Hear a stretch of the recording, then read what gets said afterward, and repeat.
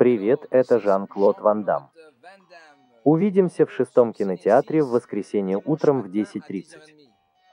Это еще не конец.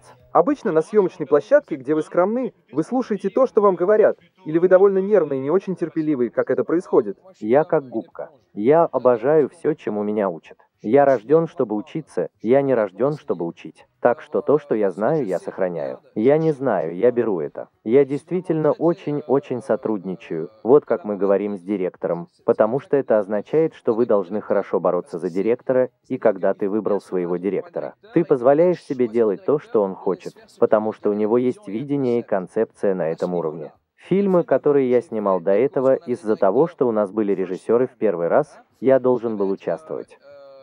Я должен был быть Помолвлен. помолвлен, чтобы защитить этот фильм. Мой следующий фильм, мне потребовалось 6 месяцев, чтобы подписать контракт с режиссером, подраться, пригласить его в ресторан, разговаривать с ним каждую неделю. В конце концов он сдался, и я знаю, что он мой режиссер. Так что я бы предпочел потратить год, два или три, чтобы убедить режиссера и снять хороший фильм, чем снимать фильмы за деньги. А затем фильмы превращаются в индустрию, как фабрика, как единое целое. Фабрика. Обычно на съемочной площадке, когда что-то идет не так, потому что это может случиться через две или три недели, что ты делаешь? Ты берешь на себя? Ты берешь все на свои плечи, если это уже есть. Это необходимо, это необходимо. Актеры, когда что-то идет не так, это жизнь.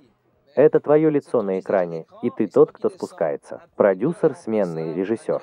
Это всего лишь имя. Но лицо не забывается. Поэтому я боролся за все свои фильмы. Я слишком много страдал и пускал слюни из-за этого, чтобы просто сказать, что такова жизнь. Я жду следующего фильма. И кроме того, я слишком уважаю своих поклонников. Они приходят ко мне, я их разочаровываю. Ты можешь крутить это как хочешь. Они будут на тебя злиться. Не против директора. Они не знают бюджета директора-продюсера. Они не знают всего этого. О, Ван Дам, он нас сейчас бесит. Я слишком сильно люблю своих фанатов. Именно это важно для публики. Вы часто общаетесь с ней. Вчера я видел вас. Вы подписали много писем. Вы подпишете их только сейчас. Когда вы гуляете по улице, все это, вы находите время, чтобы поговорить с людьми, о чем-то поговорить. Слушать? Да, потому что это люди, которые сделали меня, а это нет. Без людей ты ничто. Есть много кинозвезд, которые забывают об этом, которые говорят, о, я устал раздавать автографы. Именно благодаря людям я оказался там, где я есть.